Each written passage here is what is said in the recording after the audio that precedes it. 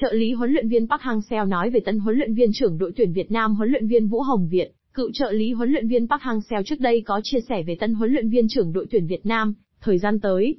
Câu lạc bộ Nam Định đã giành thắng lợi kịch tính sau loạt sút luân lưu, trước câu lạc bộ Bình Dương ở tứ kết Cúp Quốc gia 2023 trên 24 tối 30 tháng 4, qua đó góp mặt ở bán kết, và tràn trề cơ hội có cú đúp danh hiệu ở mùa giải năm nay.